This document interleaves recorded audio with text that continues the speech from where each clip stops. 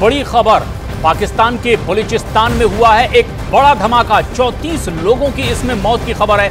Pakistani media के हवाले से खबर आ रही है कि बलूचिस्तान में ज़बरदस्त धमाका हुआ है। 130 लोग इसमें घायल हो गए हैं और अब इस पूरे मामले की वहाँ जाँच पड़ताल की जा रही है। बताया जा रहा है कि इस धमाके में 34 लोगों की मौत हो चुकी है।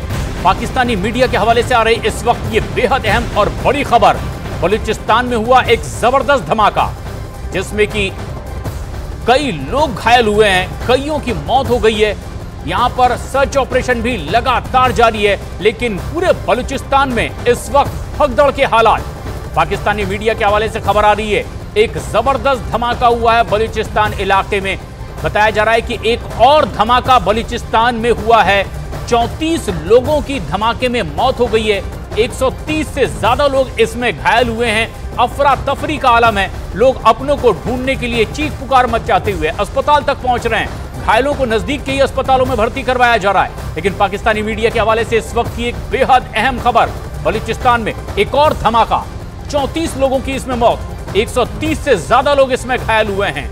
लेकिन अफरा तफरी का आलम बलूचिस्तान के इस इलाके में, जहाँ पर यह एक बड़ा धमाका हुआ है अलग अलग तरह के कयास लगाए जा रहे हैं, लेकिन फ़िलहाल प्राथमिकता ये कि इन घायलों को तुरंत अस्पताल पहुँचाया जाए।